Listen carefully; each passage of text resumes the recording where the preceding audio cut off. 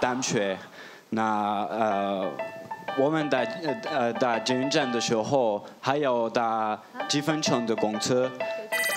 那如果我们下班很晚，那我比较喜欢在计程车，因为如果要等公车，可有可能要等二十分钟、三十分钟，所以我马上说 OK，我们搭计程车比较快，而且不算不算贵，就是一百块而已。所以可是他就说我们要等计程车呃公车，因为要存钱。他他跟他的老婆他们住在淡水，他他们的公车比较慢来。那如果坐过一台，可能到下一台要等二十三十分钟。